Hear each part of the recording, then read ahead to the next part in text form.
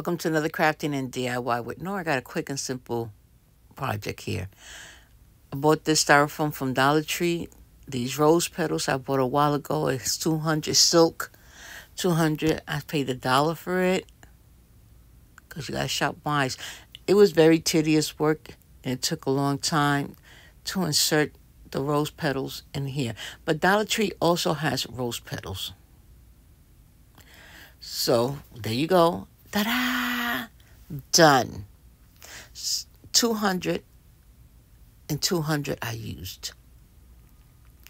So now I have pearls here. And I, I want that delicate look plus that vintage look. So I had three. I had white, light pink, and dark pink. And I just added not a lot, a few, you see. Just for it can stand out in that dark hot not hot pink, dark pink just brings it out more. Um, I buy from this local man uh, my brooches, my rings, my earrings, and I cut them up the back part and use them for decor. So I decided to put some on this heart. Different type, small, large. That's all I did here. That's what I'm doing here. Just looking for the right piece to put down on it. You see? Another earring. Look how stinking cute this. In the picture does not do justice for the glitter, the shininess. That's a ribbon, pink ribbon.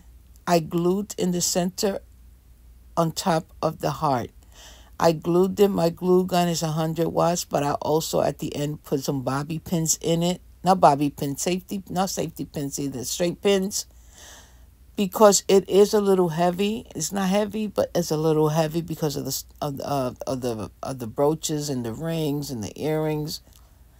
So I had to make sure that um, when you carry it, it's not going to come off. I did the same thing for the bottom of the heart.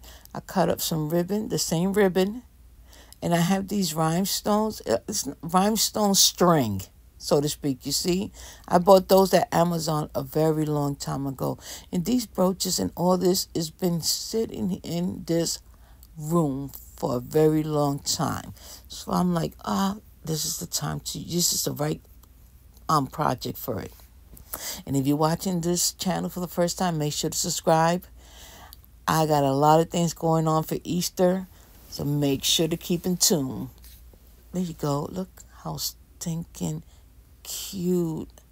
And the pictures that does not do justice for it when I tell you that.